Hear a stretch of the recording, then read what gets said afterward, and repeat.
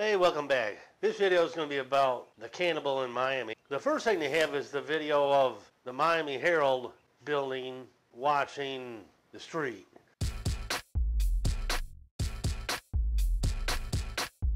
What is your emergency now? Listen, there's a naked man on the MacArthur Causeway at the end of the causeway coming towards Biscayne Boulevard. He is beating another man to a pulp, like on top of the man, beating him. The man is bleeding. The, Somebody, somebody's beating on him. They you got his beating. I, I'm, I'm a bus driver. I passed by and I saw what was happening. I pulled over. Okay, this, he's been beaten. You said. He's beating another man. It's a naked Oh, man naked man. beating another man. I'm A beating him.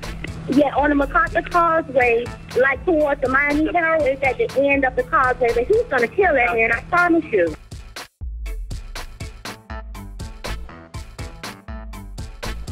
Hi, how you doing? I'm just reporting um, uh, there's a naked uh, man uh, in front of the uh, Miami Herald building next to the highway. He's throwing his uh, clothes on the highway. Can't miss him. He's naked.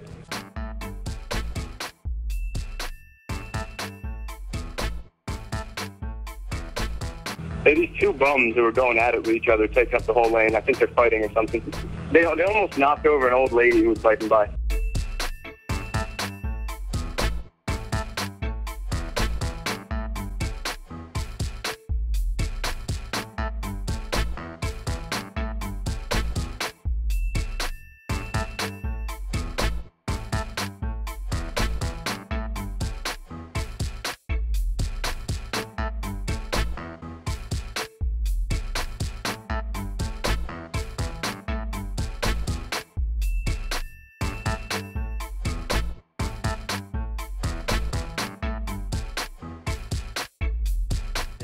Goes for like 23 minutes the video does. What you see in the whole video is first off rudy comes uh, walking into the camera butt naked not no clothes on. And then uh, right at the edge of the tree there is where Poppo was sitting the 65 year old homeless guy.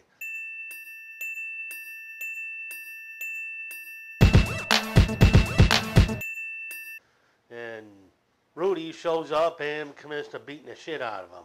And it goes on for like 18 minutes of the actual beating itself.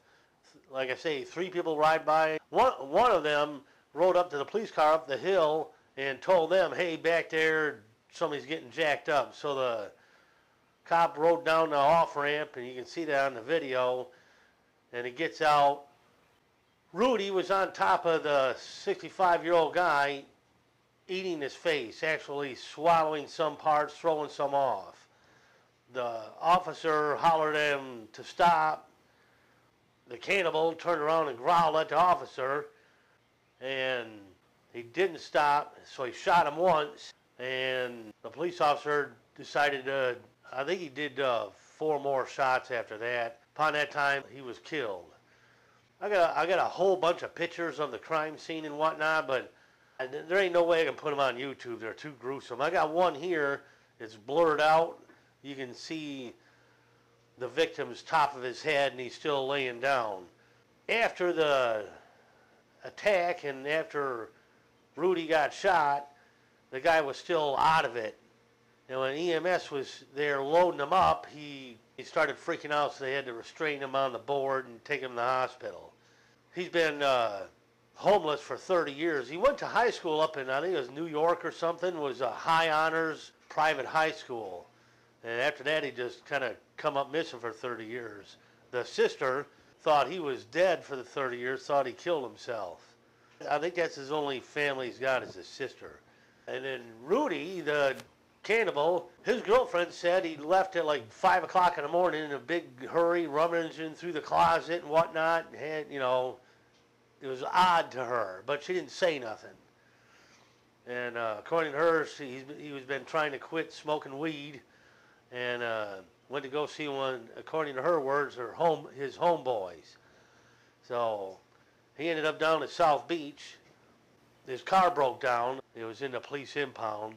It's a older style bubble cop car looking thing, Caprice Chevys. It's got a weird thing on the hood. According to some of the family members, somebody's Haitian somewhere, and the girlfriend thinks Rudy had somebody pull a voodoo curse on him or somebody shot him up with something. Maybe he's just jonesing for weed. I'm thinking he's trying to quit smoking weed and he tried that spice stuff. So something happened.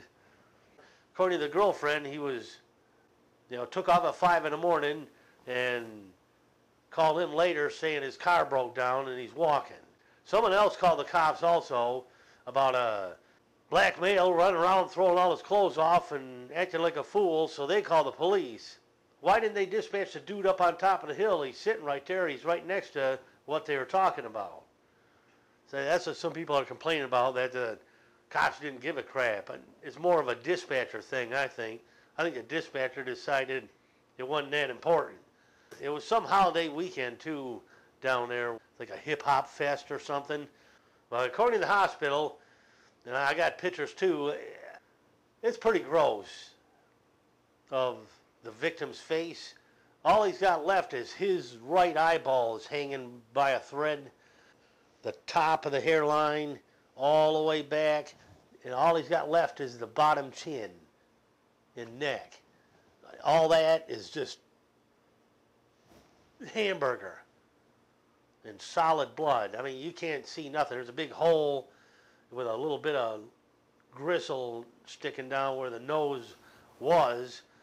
You cannot see any eye socket over here on this side. And over here you got, like I say, this a hanging other eyeball. It's pretty gross. I had like nightmares. He was shot once back in 1976 or something, or 78. So uh, being homeless ain't safe. You know, especially now just laying around in a, underneath a viaduct in the shade, minding your own business, and somebody comes up and eats you. All right, anyway, that's all I'm saying. I'm shutting up. See you.